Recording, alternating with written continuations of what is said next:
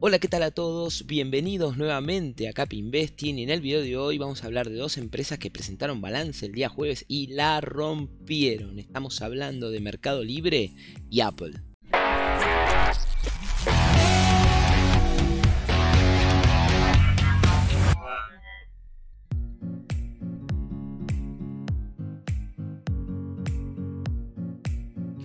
Bien inversores, hoy es el turno de analizar las presentaciones de balances de estas dos icónicas empresas. Por un lado tenemos a Mercado Libre, el unicornio argentino, y por otro lado tenemos a Apple. Me voy a centrar un poquito en la presentación de balance de cada una de ellas y al final vamos a hacer una valoración rápida y además quédate porque te quiero mostrar algo, una herramienta que te puede servir para hacer alguna valoración, querés rápida o una valoración no rápida, pero sí que vos puedas utilizar para comparar con tu planilla.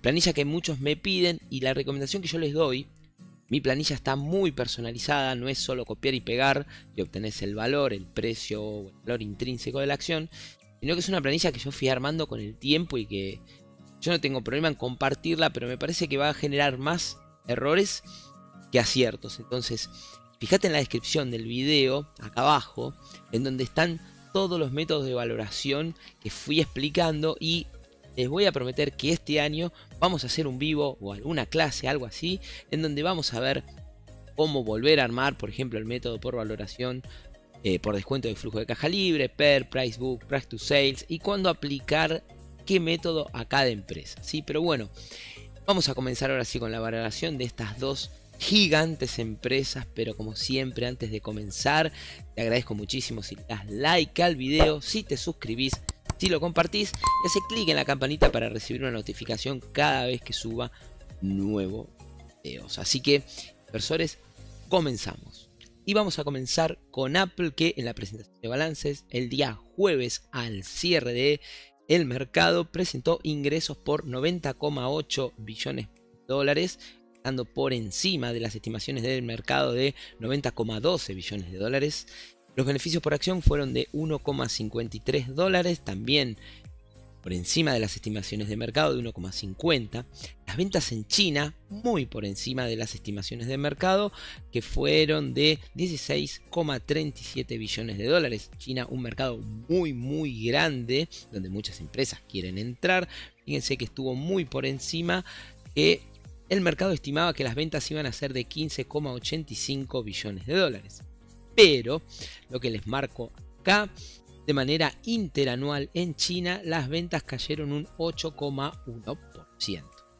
Dos puntos positivos que también traje la de balance fue la recompra de acciones autorizada por la dirección.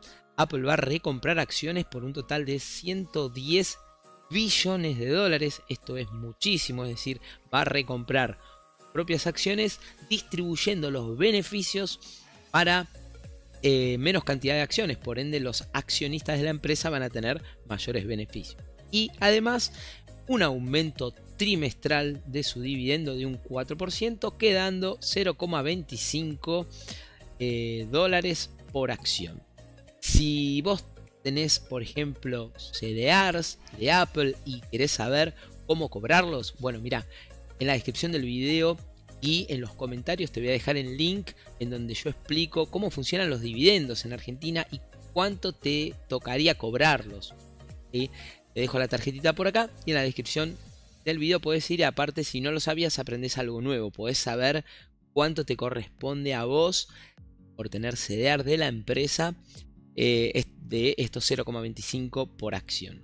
Pasemos nuevamente a analizar las ventas, vamos a analizar sus productos. Fíjense que los ingresos, como dije, 90,8 billones de dólares, pero cayeron un 4% de manera interanual. Si vamos a la generalidad de sus productos, dividimos productos y servicios, siendo los productos, vamos a decir todo lo que es hardware, los productos tuvieron ingresos por 66,9 billones de dólares, cayendo un 10% de manera interanual. Y ojo, si bien vamos a ver cómo respondió el mercado a este balance y cumplió con las expectativas del mercado, bueno, algo que también he hablado y en el No Temáis que grabamos con Matías Batista de que hay cierta desaceleración en los productos de Apple y hay que ver qué camino va tomando la, la dirección. Pero bueno, los servicios aquí sí un segmento que viene en aumento con un crecimiento muy bueno de un 14% y representa 23,9 billones de dólares. Son servicios de su Apple Store, Apple TV, Apple Music, sus segmentos cloud, etcétera, etcétera, que viene con muy muy buen crecimiento la compañía. ¿sí? Así que una de cal y una de arena podemos decir. Fíjense que lo que son sus productos, el iPhone, producto estrella de la empresa, tuvo ingresos por 46 billones de dólares, pero cayeron un 10% de manera interanual. Las Mac tuvieron una recuperación de un 4%, teniendo ingresos de 7,5 billones de dólares. También esto es interanual. Sus iPad continúan en caída, cayeron un 17% las ventas. Y lo que es em, eh, dispositivos Watch y AirPod, digamos los accesorios para el hogar, todo lo que es hardware, también cayeron un 10% con ingresos de 7,9 billones de dólares. Y me fui eh, un minutito de la pantalla únicamente porque no quería taparte nada. A ver, si lo vemos, desglosamos sus ingresos de manera geográfica, vemos que por ejemplo en América las ventas cayeron un 1,4%, en Europa las ventas han mejorado un 0,7%, en Japón fuerte caída de 12,7% y en el resto de Asia Pacífico cayeron un 17%. Es decir, viendo este balance, obviamente que hay que abrir su formulario 10Q y leerlo por completo, aparte también la conferencia de prensa posterior, lo que podemos ver acá es que cumplió con las estimaciones del mercado, sin embargo, tuvo caída en sus productos, en, sus productos estrellas como es el iPhone, eh, está cayendo la venta de hardware y mejorando mucho la venta de servicios. Así que vamos a ver qué dirección toma la compañía. Recuerden que también va a lanzar las gafas, eh, las Vision Pro. Son bastante caras, sale a competir la meta, pero vamos a ver cómo evoluciona porque hay cierto fanatismo por la marca que hace que, bueno, que, que se paguen esos precios. Voy a dejar la valoración de Apple para el final, Pasemos ahora sí a Mercado Libre, que presentó ingresos totales para el primer trimestre de año 2024 de 4,33 billones de dólares y fíjense que estuvo muy por encima de las estimaciones del mercado que fueron de 3,94 billones de dólares y beneficios por acción de 6,78 dólares versus los 6,64 también por encima de las estimaciones del mercado. Miren estos dos datos, ¿no? El volumen bruto del total de productos que vende Mercado Libre fue de 11.400 millones de dólares, un aumento interanual del 20% y un 71% a tipo de cambio constante. El volumen total de pagos fue de 40,7 mil millones de dólares con un crecimiento interanual del 35%. Impresionante. Y si vamos a ver aquí Fíjense que de estos 4,33 el crecimiento de un 36% interanual y un 94% tipo de cambio constante. Luego, si vamos a ver por sus dos segmentos, tenemos principalmente lo que es e-commerce, que tuvo ingresos por 2,5 billones de dólares con un crecimiento interanual del 49% y su sector fintech que cada vez va creciendo más fue de 1,8 billones de dólares y un crecimiento interanual del 22%. Así que súper positivo para Mercado Libre. Aquí, para no hacer tan extenso el video, podemos ver ya todo su ecosistema, ¿no? De lo que es Mercado Libre, Mercado Ads, Mercado Envíos. Mercado Libre creció un 50% de manera interanual, lo que es Mercado Envíos un 41% y lo que es Mercado Mercado Pago, toda la sección de fintech, ¿no? Mercado Pago y Mercado Crédito. Mercado Crédito creció un 44%. Son productos nuevos. El unicornio sigue y sigue creciendo. Y aquí está Mercado Libre, que hoy es realmente una empresa icónica en Latinoamérica. Es verdaderamente un unicornio que no para y no para de crecer. Y les quiero aportar un dato más. Eh, obviamente, lo mismo que le dije ustedes con Apple, vayan al 10Q la sección de Mercado Libre, la verdad que presentan los datos muy muy prolijos. Y acá ustedes pueden ver el total de productos vendidos, ¿sí? con un aumento del 25%, el total de transacciones, eh, créditos que está teniendo en su portfolio en la sección vintage. El ingreso neto, fíjense que el ingreso neto es de 7,9% el margen neto, margen que ustedes cuando van haciendo la valoración, ya cuando nos centramos en la valoración de la compañía, vamos viendo cómo va evolucionando, cómo va mejorando estos márgenes, cómo va mejorando también los ingresos, ingresos por operaciones, deuda, etcétera, etcétera. Hoy quise traerte estos dos balances que en mi conclusión, y ahora vamos a pasar a la valoración, pero a mí me gustó mucho más el balance de Mercado Libre porque sigue creciendo de una manera impresionante que el de Apple. El de Apple para mí cumplió con las expectativas de mercado, es una excelente empresa, eso no lo quita nadie, pero eh, yo veo nuevamente, y lo mismo que comenté en el Note Mais que grabamos junto a Mati, es que yo noto cierta desaceleración en sus productos. Sus servicios creciendo. Entonces, vamos a ver si hay una tercera ola en la, empresa con todo el boom de la inteligencia artificial, qué va a hacer con las gafas, qué van a hacer con otros productos y posiblemente se vaya reconvirtiendo. Entonces, antes de pasar a la valoración, sí te digo que es cuando nosotros ponemos nuestro capital invirtiendo en una empresa a través de acciones, estamos invirtiendo en el futuro de la compañía. y Vemos que lo hizo bien este periodo, bueno, ahora seguir trabajando. Pero bueno, vamos a pasar a la valoración, vamos a ver si están sobrevaloradas, infravaloradas.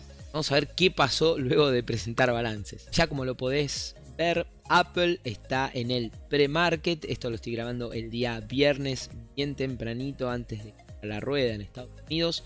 Apple ya está 6,23% arriba, un precio de 183 dólares con 81 centavos. Ya el día anterior, el día jueves al cierre, ya había subido un 2%, así que veníamos bastante bien con esta gran compañía. Por el lado de Mercado Libre, Mercado Libre que en el pre-market está más 3,94%. Ayer jueves, o en realidad, bueno, estás viendo este video el sábado, pero en el aftermarket del día jueves tuvo casi 7% arriba. Bajó un poco la espuma, pero bueno, también convengamos que venía de un más 3,40% durante la rueda del día jueves. Mercado Libre hoy está cotizando los 1565 y ahora vamos a pasar a la valoración. Vamos a ir a Apple y vamos a hacer una valoración rápida utilizando un canal fundamental por PER. Vamos, a utilizar este ratio de valoración múltiplos. Miren, lo que están viendo en este recuadrito acá, que dice 1040, 2179, 40,23. Esto yo lo traigo desde mi Excel, que lo que hago es ver trimestralmente cómo se ha movido el PER. Ustedes lo pueden sacar en otros sitios, como por ejemplo en Trends. Entonces yo agarro y digo, bueno, para Apple voy a poner un PER mínimo de 15, PER medio de 22 y un máximo de 30. Ustedes pueden jugar con estos valores porque el método de valoración, como les dije, en la descripción del video lo pueden hacer. Beneficios por acción crecientes a un 9% los primeros 3 años, 2024, 2025 y 2026, y lo mismo para 2027, 2028 y 2029. Beneficios por acción de 6,54, 7,13, 7,77 y bueno, y así sigo 3 años más utilizando este múltiplo de valoración y además haciendo o aplicando un margen de seguridad de un 10%, me da que el precio de Apple en una estimación moderada, podemos decir, o media, está en los 130 dólares y con un margen de seguridad. Como vimos, Apple está cotizando unos 183, podríamos decir que está eh, un poquito sobrevalorada no sé si decirlo así, pero utilizando este método de valoración le voy a sacar, por ejemplo, el margen de seguridad y le dejo 0%. Están los 143. Es que esto debe estar más o menos en el mercado valorándola 25 veces sus beneficios, no un poquito, poquito más, 28 veces sus, sus beneficios. Si quieren lo dejo en un PER de 25 más un PER parecido al de S&P, aplicamos margen de seguridad y me queda los 145 dólares, podemos decir. Hay como un precio justo para invertir. ¿Qué pasa? No siempre vamos a poder adquirir la empresa a un precio barato o infravalorado a un precio de ganga. Sobre todo empresas como estas, como Visa, Berkshire, que no tienen grandes caídas. Quizás Mercado Libre sí, su momento lo ha hecho, que hace un tiempo largo hice un video de Mercado Libre vamos a hacer una operación completita nuevamente. Espero poder hacerla este año. Pero para el caso de Mercado Libre traigo el canal fundamental. Vamos a valorarla por el ratio valor empresarial a ventas. 2023 fueron las ventas que tuvo el año pasado. Tenemos las estimaciones para 2024, 2025, 2026, 2027 2028 con crecimientos en ventas anual y compuesto de un 15% estos tres años y luego un 10% para 2027 y 2028. Eh, el margen de seguridad que apliqué en esta valoración es del 15% y utilicé un ratio de 4, 5 y 7 veces. Es decir, que las ventas que tiene la compañía están 4 veces dentro de su valor empresarial, 5 o 7 veces. Entonces, acá para Mercado Libre, este canal fundamental y la valoración para el año 2024, aplicando incluso un margen de seguridad de un 15%, me da unos 1.400 dólares. Ya algo más parecido a lo que está cotizando hoy. Hoy ya está en los 1.570. Bueno, está viendo un poquito más. Pero hoy incluso algunos días, algunas semanas antes, el mercado la había a mí infravalorado.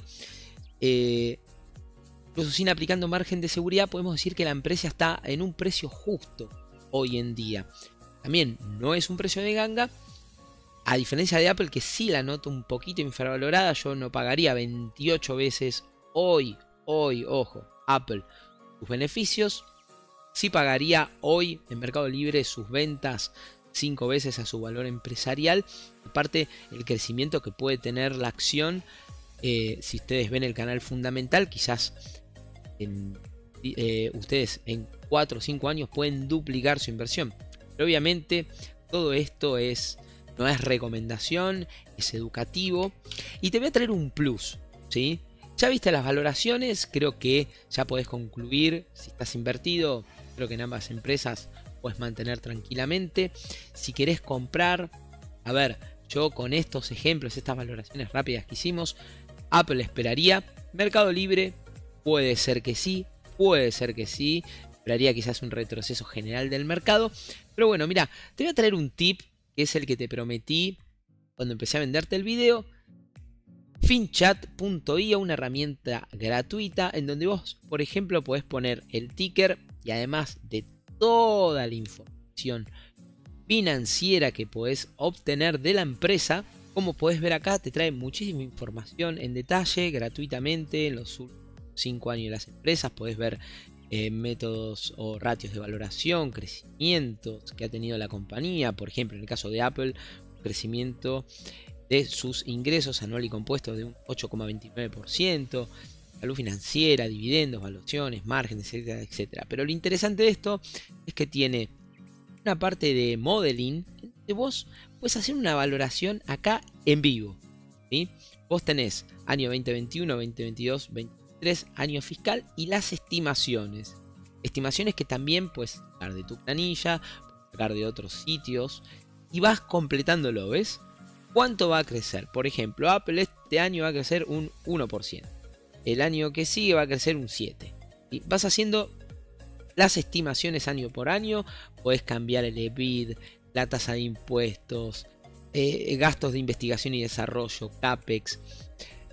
Puedes hacer absolutamente todo, también puedes modificar eh, los costos de conseguir deuda, los costos de conseguir capital, te da el beta, la verdad que te da todo y al final lo que hace te dice, bueno, mira, para todo lo que vos me pusiste acá, todas tus estimaciones, a mí me da que el precio quizás estimado es de 123 dólares, 125 dólares. Y acá puedes hacer una valoración rápida, aunque sean unos 10-15 minutos por ahí, si no sé, no tenés una planilla a mano o te cuentan de una empresa, decís, che, a ver cómo está, se está hablando mucho de esta compañía, bueno, puedes venir a este sitio que yo también te lo voy a dejar en la descripción, que es finchat.io y además de tener muchísima información financiera tiene esto de modeling que está muy bueno para hacer un cálculo rápido y para saber de manera rápida cómo está la empresa, si está infravalorado o sobrevalorado. Pero bien, inversores, esto ha sido todo por el video de hoy. Que si te gustó, te invito a darle like, a suscribirte al canal y hacer clic en la campanita para recibir notificaciones cada vez que suba nuevo contenido. te invito a seguirme en las redes sociales, en Twitter, en Instagram y sumarte al grupo Telegram.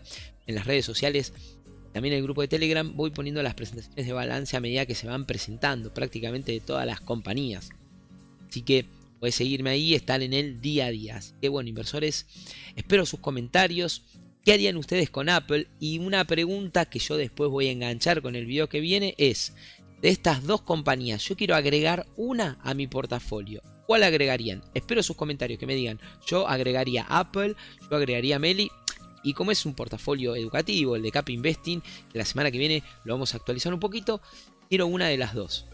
Quiero una de las dos, pero que ustedes me digan, ¿sí? Así que bueno, inversores, muchísimas gracias por todo y nos vemos en el próximo video.